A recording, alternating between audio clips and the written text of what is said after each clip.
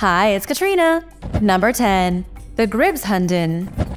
During the summer of 1495, King John of Denmark's flagship called the Gribshunden sank while on its way to Sweden.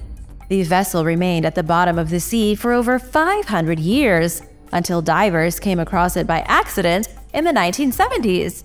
Nobody realized it was a big deal, and archaeologists didn't investigate the shipwreck until the year 2000. Shortly after the initial investigation, the ship became famous worldwide because of a monstrous dragon that was brought up from the wreckage. Archaeologists managed to salvage the wooden figurehead of a serpentine beast. The figurehead was on the stern of the 15th century ship when it crashed. The dragon like monster is now the only artifact of its kind in the whole world. However, the discoveries didn't stop there. More recently, archaeologists searching the ruins of the shipwreck came across a barrel with the skeleton of a monster inside. It was a shocking find because it truly looked like a monster skeleton was deposited in an old wooden barrel. It was about 7 feet long and was subsequently taken to Lund University in Sweden for testing. DNA analysis revealed the monster was, in fact, an Atlantic sturgeon. The giant fish was likely going to be presented to Sten Sture the Elder when King John made his claim to the throne of Sweden. But when the ship sank, the monster fish, which was supposed to be a kind of offering, was lost. And now for number 9. But first, it's shoutout time! I want to say a big thank you to Akara Wolf and Patricia Green for supporting this channel. Be sure to subscribe if you haven't already for more videos about amazing discoveries. Number 9. The Lost City of the Ocean A lost city has been discovered deep in the Atlantic Ocean, near the summit of a massive underwater mountain, not far from the mid-Atlantic ridge, there is a rugged landscape of towers and turrets rising out from the gloom. In the light of the remotely operated vehicle, which was sent to explore this underwater abyss, the columns of stone appear ghostly blue. Some of the towers are nearly 200 feet tall, while others are no bigger than toadstools. The submerged city, a natural landscape of stone and hydrothermal vents, was discovered 2,300 feet beneath the surface. Scientists stumbled across it about 20 years ago, and nothing like it has ever been found since.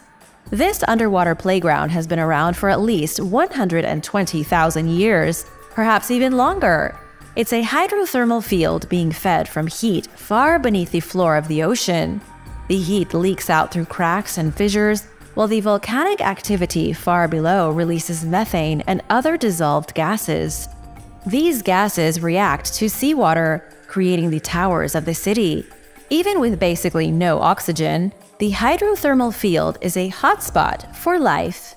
The gases spilling from the cracks reach temperatures of about 104 degrees Fahrenheit. The extreme environment is teeming with life, and creatures like hungry crabs, eels, shrimp, and sea urchins call this place home. The hydrothermal field is also rich in hydrocarbons produced by chemical reactions on the sea floor. According to microbiologist William Brazelton, the area is a perfect example of an ecosystem that could exist in our own solar system, specifically on Jupiter's moon, Europa, or possibly even Mars. What do you think? Let me know in the comments. Number 8. The Giant Phantom Jellyfish The giant phantom jellyfish was discovered for the first time in 1910. Since then, there have been fewer than 130 sightings of the mysterious deep-sea creature. But in early 2022, guests on a submersible had the rare privilege of seeing one of these otherworldly animals moving through the water in front of them. The massive jellyfish looks like a living UFO, with its bell shaped like a spaceship and its ribbons streaming out 30 feet behind it. The sighting was a huge shock because the submersible was only at a depth of around 260 feet, Usually, the giant phantom jellyfish lives at depths of over 20,000 feet. That's in such a deep part of the ocean that scientists barely know what's going on down there. Weirdly enough, the phantom jellyfish has been seen in every ocean on the planet except the Arctic Ocean, meaning the Earth's oceans are likely teeming with them. However, the jellyfish are so elusive that hardly anybody ever sees them. Because of the rarity of the giant phantom jellyfish, scientists know very little about their anatomy.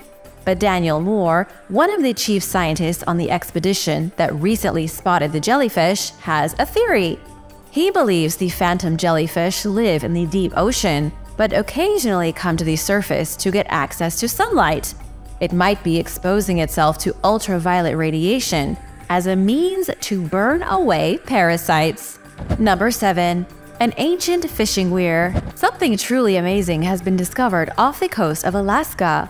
The remains of a stone fish weir has just been identified, and it was built roughly 11,000 years ago. The fish weir, an ancient tool used by Native Americans for catching fish, was uncovered over a mile from the shore under 170 feet of water.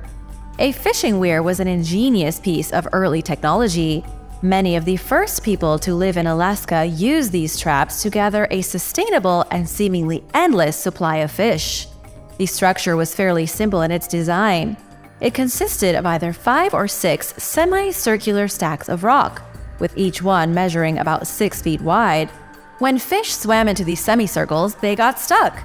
Then, when the tide rolled out, the fish could easily be picked out of the weirs since they couldn't swim away.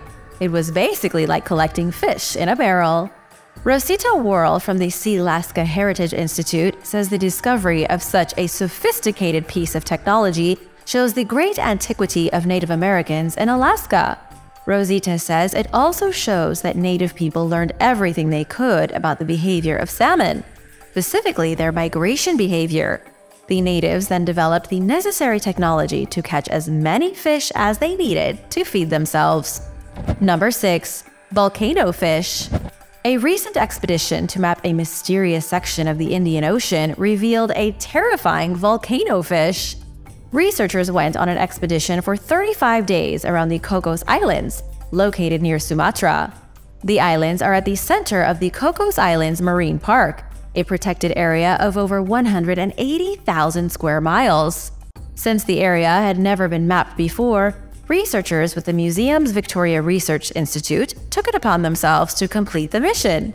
However, as they were mapping, they uncovered some things they hadn't anticipated, like underwater mountain peaks, bizarre examples of marine life, and dormant volcanoes. One of the most shocking discoveries was a blind eel that was previously unknown to science. These eels were found living in one of the planet's most extreme environments.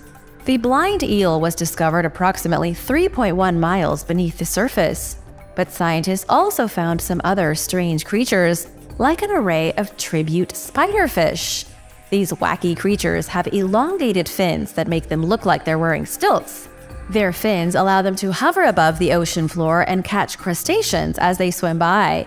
The team also found pelican eels, which have loosely hinged jaws and look like monsters, as well as the Sloane's viperfish, with its glowing organs and teeth like pale sewing needles. Number 5. Lake Superior Shipwreck On May 4, 1891, disaster struck Lake Superior. The SS Atlanta had its mast broken by the intense winds and subsequently began to take on water due to the damage. The ship was extraordinarily heavy because it was filled with coal. The seven crew members on board scrambled into the lifeboats and desperately rowed to shore, but only two of them made it. It was a tragic day for everyone involved, and the SS Atlanta was never seen again. At least, not until now. Over 100 years later, the SS Atlanta was discovered by researchers as they mapped over 2,500 miles of Lake Superior. The vessel was submerged 650 feet beneath the surface near Deer Park, Michigan. The ship was located after it was spotted on sonar. The team didn't initially investigate any further, but they came back later with a remotely operated underwater vehicle. They sent the vehicle down to the bottom of the lake where they found the ship with its name still clearly spelled out along its side. The video footage taken of the wreckage corroborated the details given by the two survivors in 1891. Using the ROV, researchers were able to identify the three broken masts that came off during the brutal storm that sent the SS Atlanta to its watery grave. Number 4. Underwater Ruins in 2006, archaeologists conducted an underwater investigation in China's Fuxian Lake. which is located in the Yunnan province. They uncovered the remains of ancient buildings at the bottom of the lake, huge pieces of architecture left behind by civilized human beings. Historical records show there was a city by the name of Yuyuan established in the area around 206 BC. Then, between the Sui and Tang dynasties from 589 to 907, all historical records ceased. The city was around for about 700 to 1100 years, then all mention of it completely vanished. Local legend says Yuyuan City sank to the bottom of the lake. The expeditions in 2006 revealed real stone ruins of what was almost certainly a huge city. Sonar surveys have even shown an architectural complex at the bottom of the lake covering roughly 10.8 billion square feet. There is clearly a huge city submerged here, and yet its historical records are scant at best. One of the structures found under the lake even resembles a pyramid. The city under the lake is one of the most impressive sunken settlements in the world, but it's barely been touched by scientists. There was a recent expedition that recovered stone artifacts from the underwater site, but little else has been done, and the whole place is still a huge mystery. Some experts have speculated the ruins could be over 1,800 years old, leaving scientists baffled as to how the city was built. For that matter, we don't even know how the city was flooded. The most confusing thing is how scientists have largely ignored the site, it's as if they have no interest in revealing the secrets of a lost civilization in China, one we have real physical proof of. Could there be a reason they haven't explored the site in greater detail? Let me know your theories in the comments. Number 3. Sunken Roman Ruins The coastal Italian town of Ponza was a Roman port city that controlled the Tyrrhenian Sea 2,000 years ago. It started out as a small colony and quickly became an integral piece of the Roman Empire.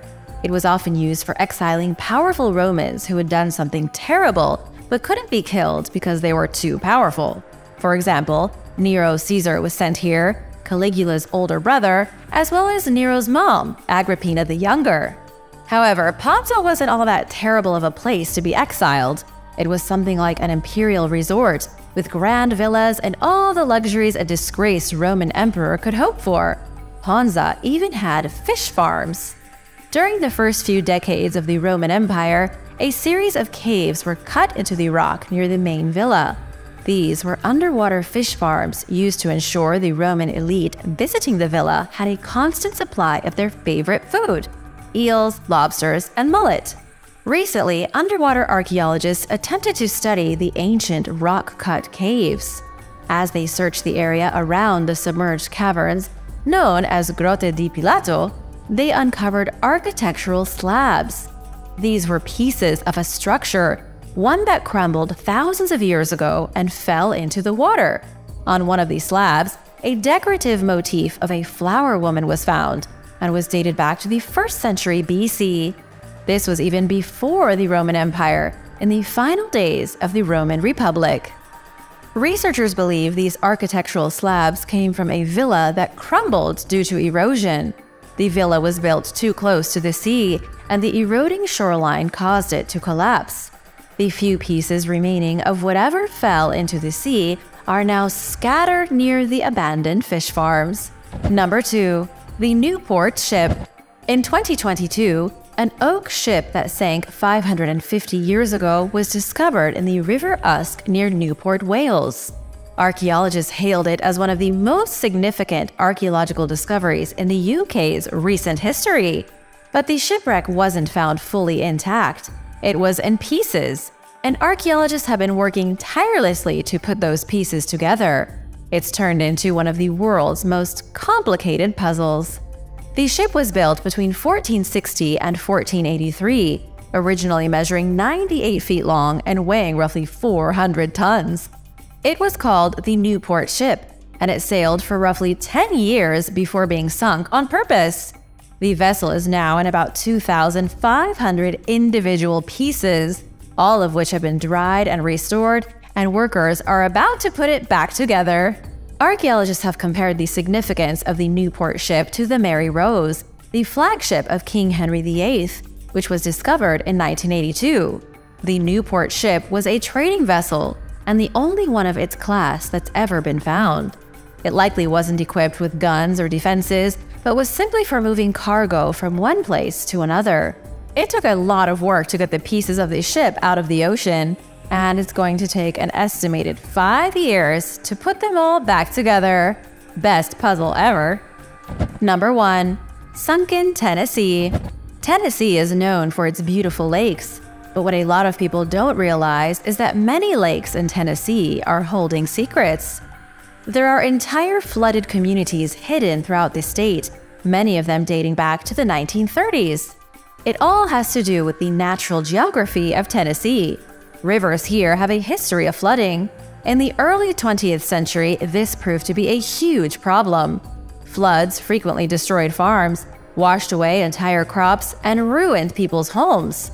The US government finally stepped in to help farmers by building dams to control the rampaging currents. But in order to build a dam, a reservoir must be created. And in several cases, the new lakes that were made by the reservoirs caused entire cities and villages to be submerged under hundreds of feet of water. One of these towns was Loyston, which was established around 1800 by the Stewksbury family. The first people arrived in the early 19th century as pilgrims in the New World. By 1866, the town was known as Loy's Cross Road, but in 1894 it was changed to Loyston. It wasn't a big place though, and in 1935 there were only 70 residents. However, it was still a lively community. When the Norris Dam was built in 1936, most people didn't want to leave because their families had been there for generations. But they didn't have a choice, and everyone was kicked out eventually. The whole town was forcibly moved, and their homes were subsequently flooded. The ruins of these settlements are still underneath what locals call the Loyston Sea. Thanks for watching!